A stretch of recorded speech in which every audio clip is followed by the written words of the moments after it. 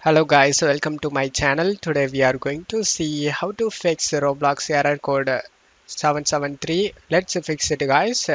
Method one, you just need to open up browser and search roblox.com and you just need to log into your Roblox site.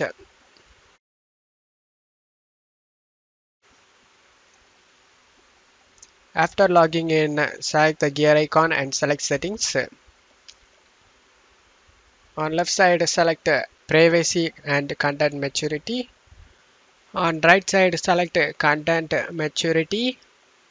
In this list, make sure you selected the moderate. Just drag this restricted to moderate. After that, you can check if the problem solved or not.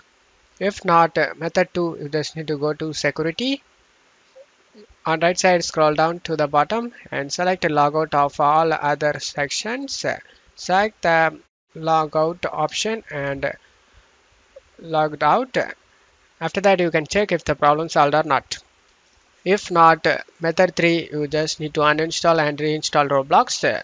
To do this go to search menu and type control panel. Click on open it. Select uninstall a program find Roblox just right click on it and select uninstall after uninstalling it just close stuff here and open up browser. Search Roblox download. Select the first link. Select the download Windows app option and download it. After the download done you can install it. After the installation done your problem should be fixed. And that's it for today's video guys. Give me a like and subscribe. Thank you